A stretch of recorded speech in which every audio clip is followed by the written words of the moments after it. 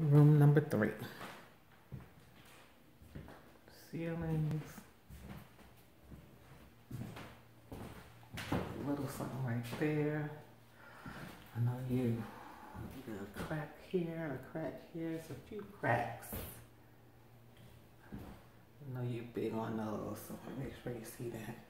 And then the vents on the bottom. Just want you to see that on the floor.